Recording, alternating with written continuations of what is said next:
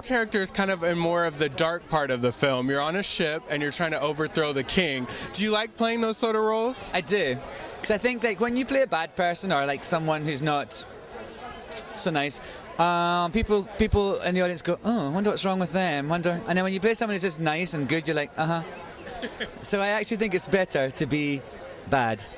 And you know, this is a, a, Shakespeare film. There's a lot of rich history in there. Did you kind of, you know, research, or did you just get the script and jump right into it? I just jumped in, really. I, you know, I, would seen the play many times, and uh, yeah, I mean, you can't really research. I mean, I guess I could have gone to Florence and found out what it was like to be a prince, but I just pretended. And uh, when you play a bad character, is there somebody in your life that you kind of molded after that kind of like maybe bossed you around as a kid or something? Um, not in this instance. In this instance, I sort of based him on Prince Andrew because I think he's a bit dim. He's always seemed a bit dim to me, and so I thought, I, and I, I thought that my character was a bit not the sharpest knife in the cutlery set. So I, um, I thought about, I thought about, you know, inbred royals. That's what I thought about.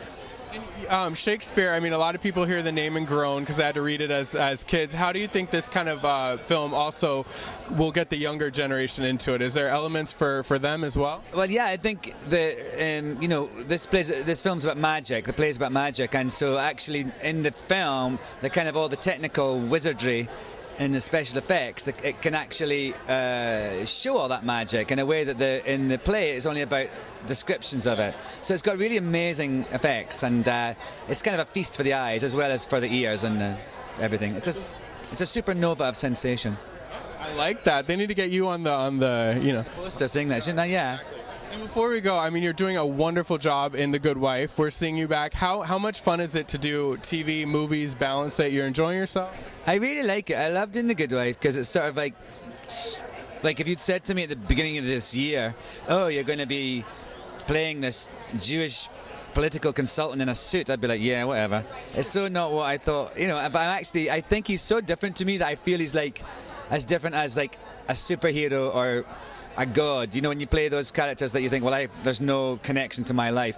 Eli Gold is up there with gods and superheroes and horses for me in terms of the characters I played. And lastly, he's pretty slimy. So we, when we watch it, we ask, "What's wrong with him?" So you're doing the, you're doing the job right. Yes, he, yes. we're all wondering what's wrong with Eli. I'm sure it was going to come out one of these days. All right, for sure. Well, congratulations on all the success and enjoy yourself. Thanks very much. Nice to see you. See you later.